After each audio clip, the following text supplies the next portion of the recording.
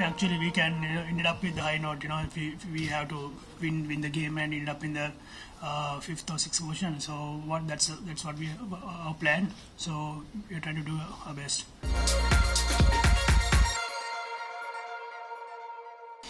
Yeah, I think uh, if, you, if you take the batting lineup, Avishka Fernando and Kusal Janith and, and the, the opening pair and some middle order, if you take the we, we we couldn't do well in the middle order the first few games, but if you take the last matches, we we capitalized really well and we uh, managed to bat really well end of the tournament. But I think that's it's too late.